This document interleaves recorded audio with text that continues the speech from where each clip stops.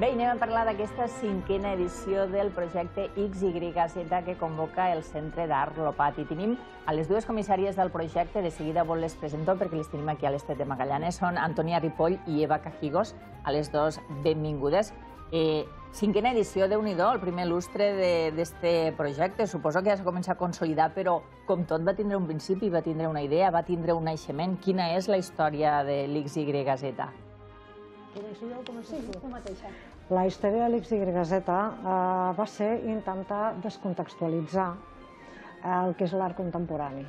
O sigui, això ja fa... La XYZ és bienal, o sigui que és una edició bienal. Llavors la idea era que a la gent normalment li costa molt a totes les persones entrar als centres d'art contemporani. I la qüestió va ser, traiem-ho fora. I traiem en el lloc on la gent eh, té més apreci com a espai personal, com a espai, com a espai mm, que, que demostra quina és eh, la seva història, etc etc. Llavors, era tu trobaràs, vulguis o no vulguis. Vale. O sigui, descontextualitzem l'art contemporani i l'actuació i canviem espais en gran significat, tant sigui personal, com històric, com natural, de, de les persones del voltant. Així, el més complicat és trobar l'escenari de cada projecte, és a dir, on te vindrà, on te farem la intervenció? Sí, bueno, en definitiva es tracta d'alguna manera de revaloritzar el territori.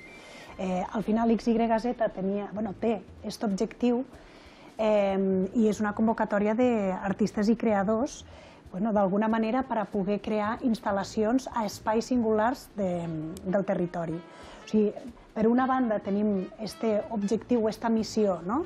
d'apropar l'art contemporani a la ciutadania i per altra banda també tenim l'objectiu, no? des d'un punt de vista eh, particular, de poder revaloritzar també el nostre territori, de fer conèixer. Penseu que al final, eh, la consulta de les bases, se pot eh, presentar qualsevol creador, qualsevol artista de l'estat espanyol, nacionalitzat a l'estat espanyol.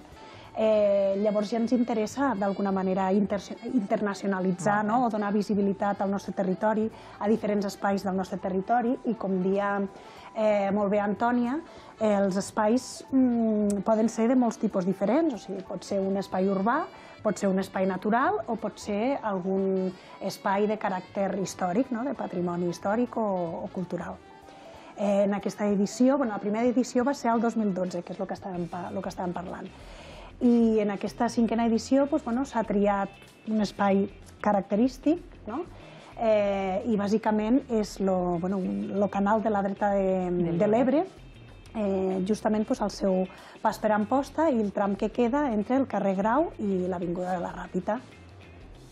És allí on té no, el mateix artista, el mateix creador, ha de pensar quina és la instal·lació que li correspon, perquè, clar, el que es fa aquí és eh, tots aquells que formen part de la convocatòria comencen a arribar a treball, són finalistes i de tots els finalistes en tria un, no? Sí.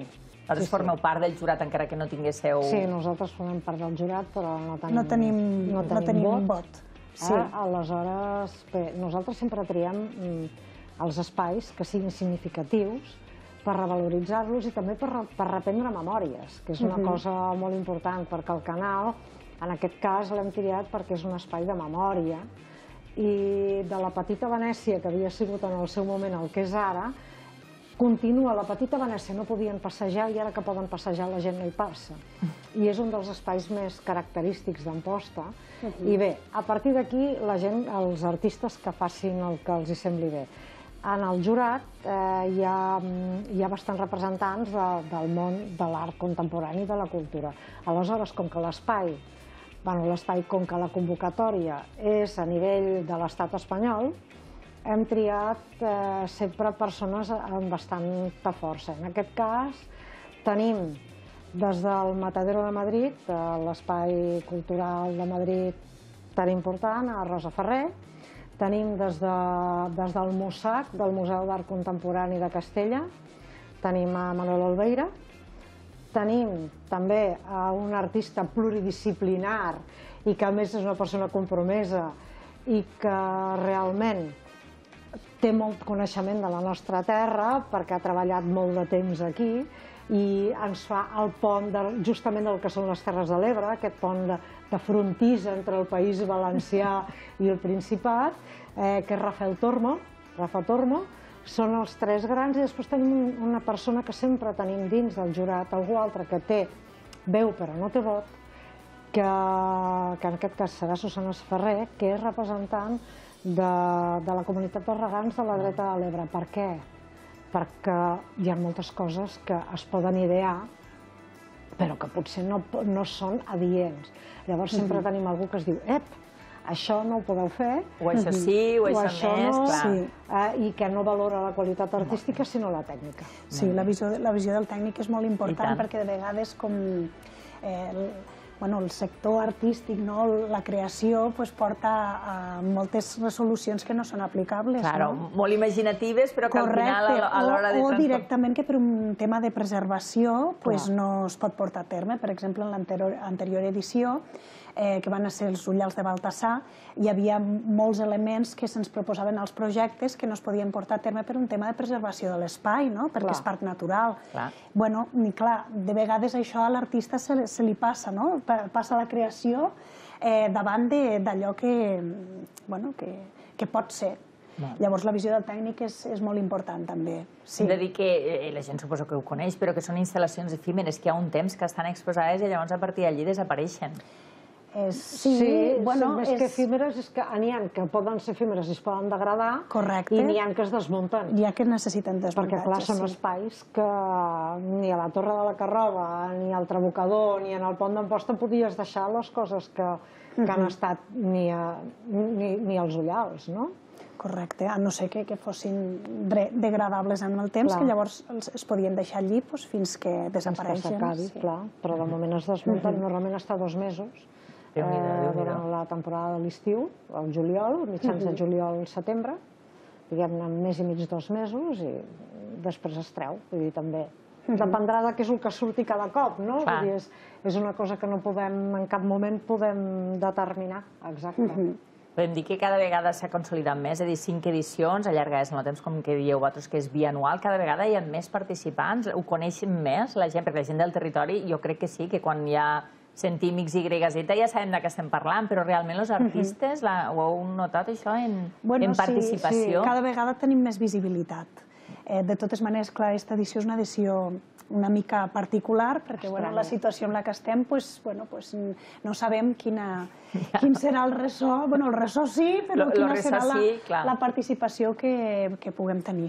Eh, arran d'això, comentar que la convocatòria eh, roman oberta fins al 2 de maig. O sigui que artistes teniu temps. Vinga, va, sí, sí. teniu una setmaneta, una setmaneta sí. de temps com aquell sí, que diu així, sí, justeta, sí, no, fins no, al diumenge. Encara però bueno, que suposo que hi ha molta Encara... gent que, que s'ha posat en marxa. Fins sí. al 2 de maig la convocatòria. A partir de quan, quin dia ho donareu a conèixer qui serà el mm, guanyador o bueno, guanyadora d'esta cinquena edició? Encara hem de formalitzar data per reunir-nos sí. amb el jurat, perquè clar, clar tornem al mateix. El procés també és uh, jurat i tria uns quants finalistes, normalment tres. Important, si volem implicar a la gent del carrer i volem treure, no només és que s'ho trobin, sinó que puguin decidir. Clar aleshores que d'alguna forma es parli d'alguna cosa que no sigui només el futbol o el temps o, o la pandèmia. pel carrer. O la que, pandèmia. Clar, o la pandèmia. He dit això per, per anar més endarrere en el temps, no? Però que d'alguna forma hi hagi una conversa tu per què vols que en el pont d'Amposta es vegi una balena o tu perquè vols que hi hagi una, una dutxa d'aigua, no? una cortina d'aigua. Ah, no sé què. Clar, com que són coses que són tan pròpies, sempre hi ha aquest punt de discussió. Aleshores, el que fem és eh, posar un espai de votació perquè totes les persones puguin votar quin dels tres projectes prèviament triats pel jurat, uh -huh. no, no posem qualsevol triats per jurats i passat per tots els sedassos, aleshores... Um, pot ser el guanyador. Pot ser el guanyador.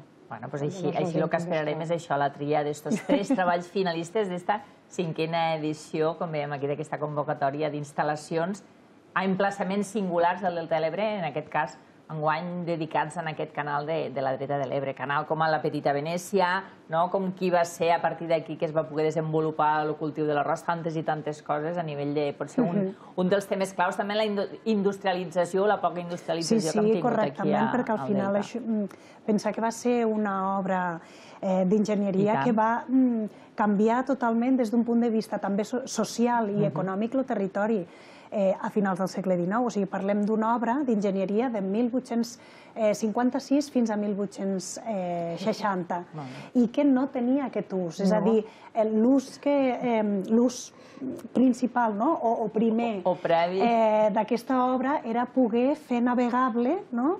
eh, un canal des de Saragossa fins al Mediterrani. El que passa que una vegada es va arribar a la sud de Xerta es va veure que per un tema de, de flux d'aigua, no? de, la, de la manca de continuïtat del cabal, pues, no es no, podia no continuar. Podia. Llavors, clar, estava fet tot un tram i d'alguna manera se li havia de donar ús a l'últim tram, no? i al final pues, es va decidir que seria un ús de, de rec que ens va afavorir a tots i, i el territori pues, se'n va veure eh, compensat d'alguna manera. Enriquit. Sí. I tant, Enriquit, sí, sí. Bueno, si volen eh, més detalls sobre aquesta convocatòria i volen saber totes aquestes coses, doncs poden buscar a la web perquè ho tenen molt ben explicat, aquesta cinquena edició del projecte XYZ i avui hem tingut a les dues comissàries, Antònia i a Eva, que també han vingut aquí en directe a explicar-nos-ho. Serem pendents dels finalistes i com bé pels finalistes tornou a vindre, ho baixarem nosaltres, ens desplaçarem i així descobrim una mica aquestes instal·lacions.